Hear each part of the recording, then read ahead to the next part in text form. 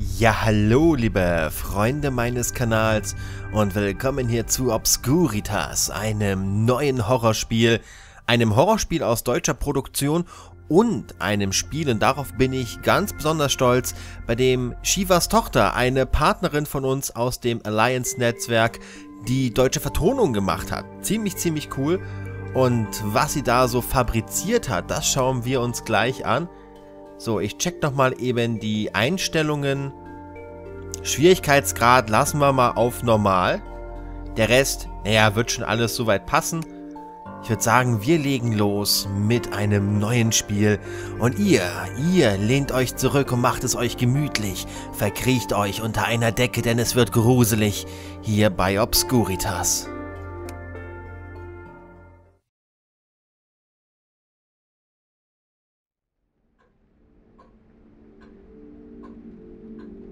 Liebe Sarah, du kannst dich sicher nicht mehr an mich erinnern. Als ich dich das letzte Mal gesehen habe, hast du gerade deinen zweiten Geburtstag gefeiert. Kurz danach kam es zu einem großen Streit in der Familie, nachdem dein Vater und ich nie wieder ein Wort miteinander gesprochen haben. Als ich vor einigen Monaten schwer krank wurde und kurz darauf erfahren habe, dass dein Vater verstorben ist, wurde mir erst bewusst, dass ich meine Fehler von damals nie wieder in Ordnung bringen kann. Wenn du diesen Brief bekommst, bedeutet dies, dass ich den Kampf gegen den Krebs verloren habe und auch dich nie wieder sehen werde. Ich kann nicht rückgängig machen, dass ich mein ganzes Leben nie für dich da gewesen bin aber ich möchte es ein Stück weit wieder gut machen, indem ich dich zur alleinigen Erbin meines gesamten Besitzes ernannt habe. Dazu gehört auch mein altes Landhaus. Den Schlüssel zum Anwesen habe ich diesem Schreiben beigelegt. Den Schlüssel zum Hauseingang findest du auf dem Grundstück, gut versteckt in einer alten Vase. Ich hoffe, dass ich dir damit ein wenig zeigen kann, dass ich trotz allem, was passiert ist, immer an die Familie gedacht habe. Ich wünsche dir ein schönes langes Leben und dass du dich an dem alten Anwesen erfreust, was mir zu Lebzeiten auch sehr viel Freude bereitet hat. Dein Onkel Arthur.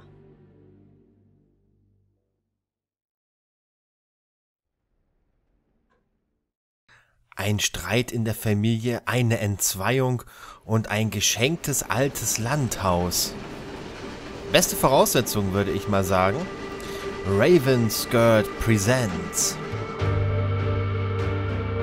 Avis Games Production. Obscuritas. Ja, Konzept und Idee André Bürger der auch die leitende Programmierung übernommen hat. Und Jan C. Obergfell, der hat ja den Sound gemacht. Und André Bürger, da haben wir ihn wieder, hat auch die meisten Grafiken erstellt. Tanja Neumeier und Lisa Moosbauer haben auch mitgemacht. Genauso wie Alexander Schumacher und Marc Schubert. Daniel Peters und Stefan Bauer haben sich auch noch an der Grafik beteiligt.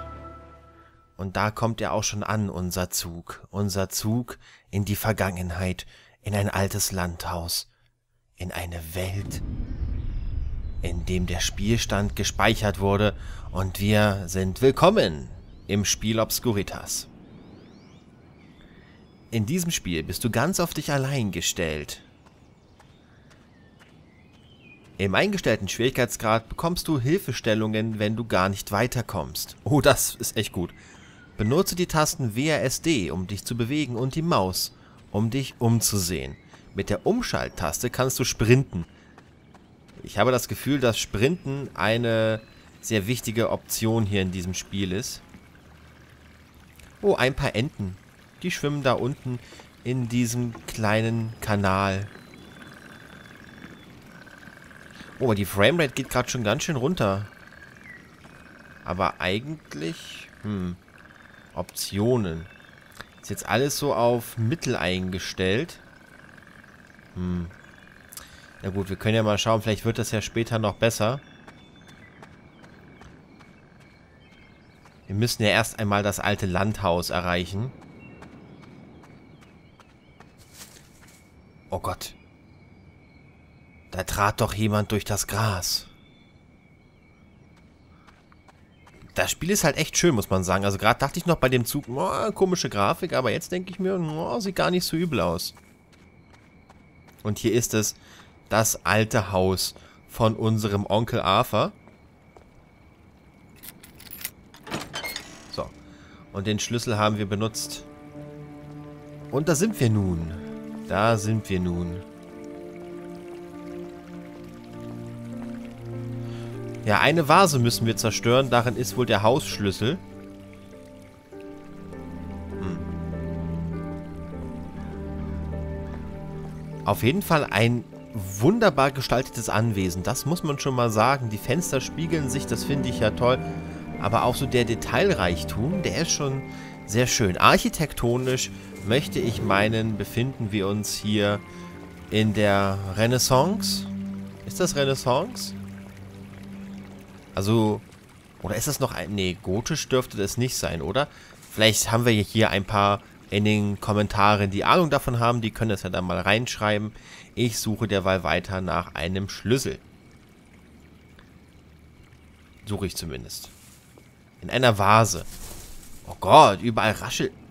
Achso, das sind die Schatten. Ich dachte jetzt hier über uns schwingt sich schon ein Monster entlang. Ah, ein kleiner ja, ein Pfad wollte ich jetzt schon sagen, aber naja, wir gehen halt um das Haus herum.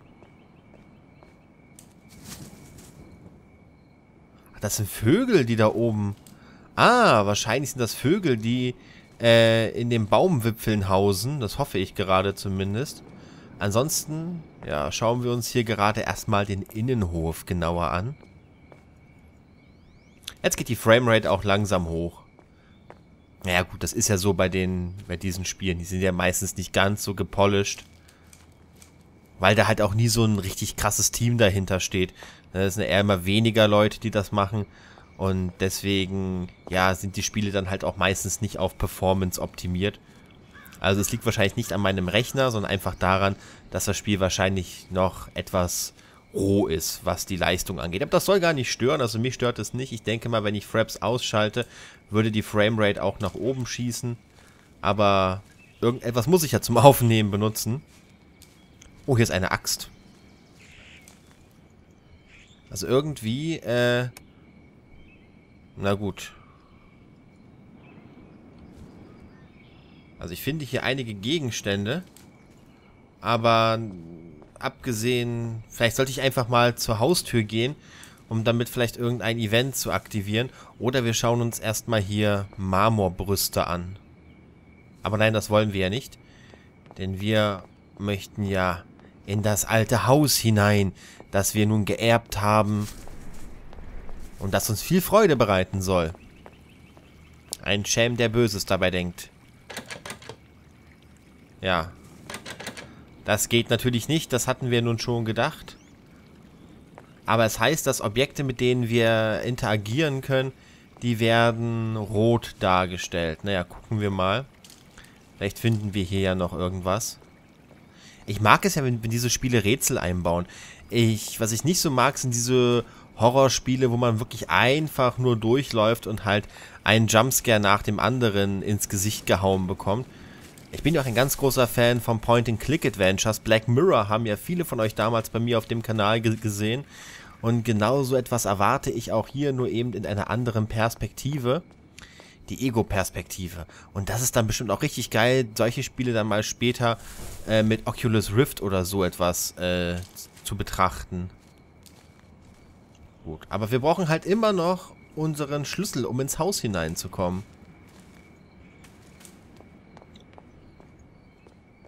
Hm. Und ich habe dabei immer Angst, dass ich irgendetwas falsch mache. Aber... Wir können ja mal einen Blick in das Haus hinein riskieren.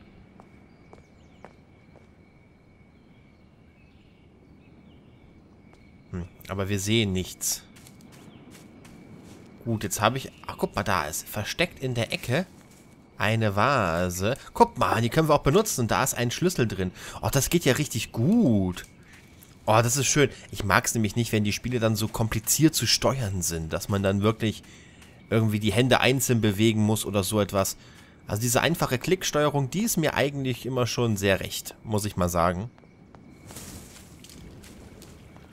Und dann begeben wir uns jetzt in das Haus hinein.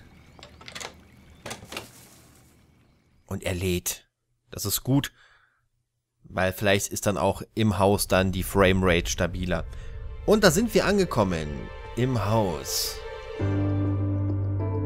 Ja, das ist das alte Herrenhaus.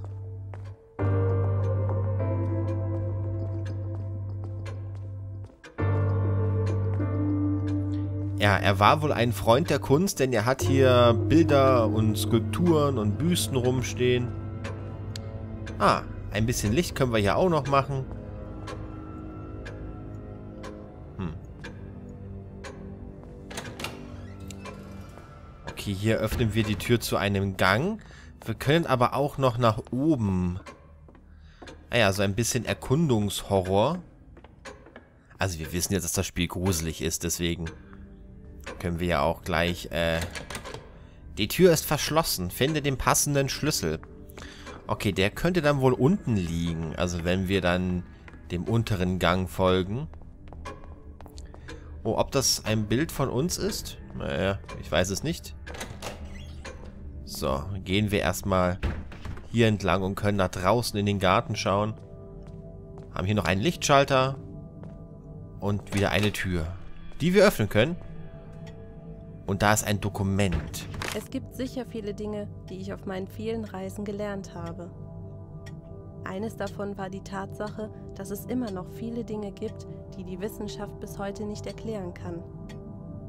Es gibt sogar Dinge, die sich nur im Licht einer Flamme zu erkennen geben. Oho, ein versteckter Hinweis. Dinge, die sich im Licht einer Flamme zu erkennen geben. Soll heißen, mach eine Flamme an und dann siehst du was. Hm. Auf jeden Fall äh, schien der Olle Arthur ähm, ja gut unterwegs zu sein in der Welt. Oh, die Uhr läuft sogar in Realtime. Das ist ja krass. Also sie zeigt jetzt nicht die echte Uhrzeit an, aber äh, es, wenn wir der Uhr vertrauen dürfen, ist es 11 Uhr am Vormittag. Cool. Sie bewegt sich wirklich. Das ist richtig toll. Also aber auch diese Tür ist verschlossen. Naja, gut. Aber wir haben einen Hinweis erhalten. Der Hinweis, manche Geheimnisse offenbaren sich im Licht einer Flamme. Mhm, eine weiße Tür, aber auch verschlossen. Gut. Ah ja. Und schon wieder habe ich ein Geräusch gehört. Ein weiteres... Oh, du Schreck! Da klingelt just der Wecker hier. Kann mal einer den Wecker ausmachen? Dankeschön. Ich komme schon seit Tagen nicht mit meiner Arbeit weiter. Vielleicht würde mir ein Perspektivwechsel mal wieder helfen. Mhm. Oh, was haben wir hier? Batterien. Du brauchst zunächst eine Taschenlampe. Ah ja, dann suchen wir mal eine Taschenlampe. Aber wenn wir die Taschenlampe haben, wissen wir auf jeden Fall, wo wir die Batterien finden. Okay, es hat irgendwas geknarzt.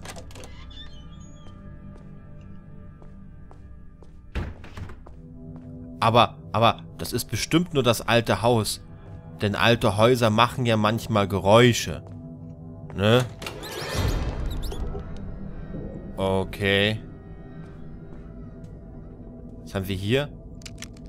Mit Streichhölzern kannst du Kerzen anzünden. Eine alte Gummiente, ein ähm, einen Schraubendreher. Nochmal Batterien. Okay, also Batterien werden wohl ein wichtiger Bestandteil des Spiels.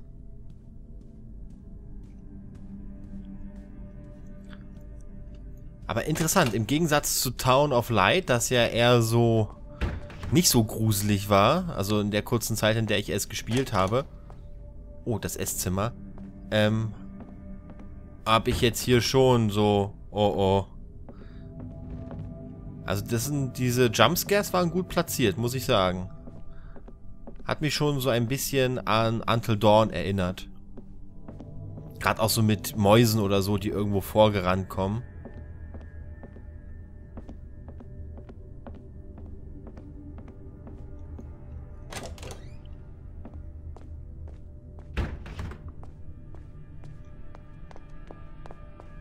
So, was haben wir da hinten? Eine Tür.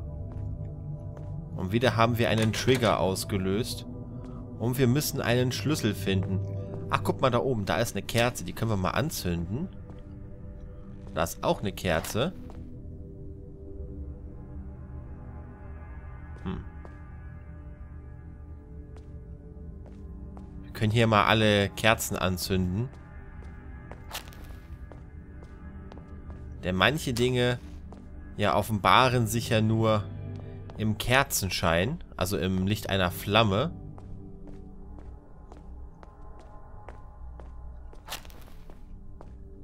Aber aktuell... Aktuell sehe ich hier noch nichts. Aber ich habe mal, hab mal einfach alle Kerzen angezündet. Okay, wir können jetzt hier auch noch alle Kerzen wahrscheinlich anzünden. Oh, da kam gerade noch eine Nachricht rein. So, jetzt auf jeden Fall haben wir hier ein bisschen Licht gemacht. Können wir eigentlich auch noch nach draußen? Ne, wir hängen hier drin erstmal fest. Und ich weiß, irgendwer schreibt mich hier gerade an und das finde ich gerade gar nicht gut.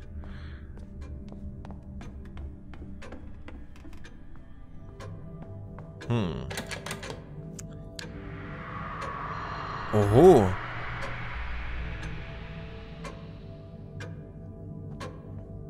Okay, guck mal, hier sind auch noch Kerzen. Nee, sind, das sind die Lampen. Ach, guck mal, hier hat sich ein Code, hat sich hier... Ach, das ist ja, das ist ja schräg. Schaut mal. 317. Ein Code hat sich jetzt hier aufgetan durch unsere Kerzenanzündung.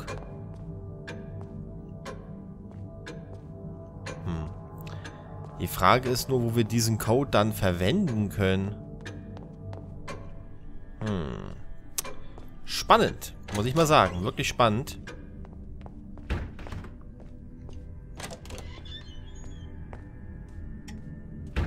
Weil bisher, außer dass die Uhren nicht gleich gehen hier im Haus, habe ich noch nirgendwo äh, etwas gefunden, wo ich einen Code eingeben muss. Eine Menge verschlossene Türen habe ich gefunden.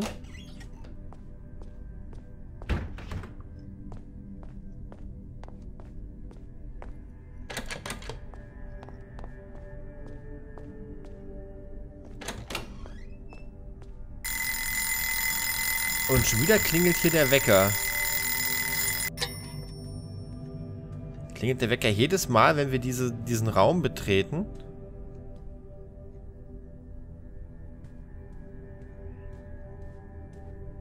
Ist das vielleicht ein Zeichen, dass wir hier irgendetwas vergessen haben? Hm, gut möglich. Ich gehe noch mal rein. Nee.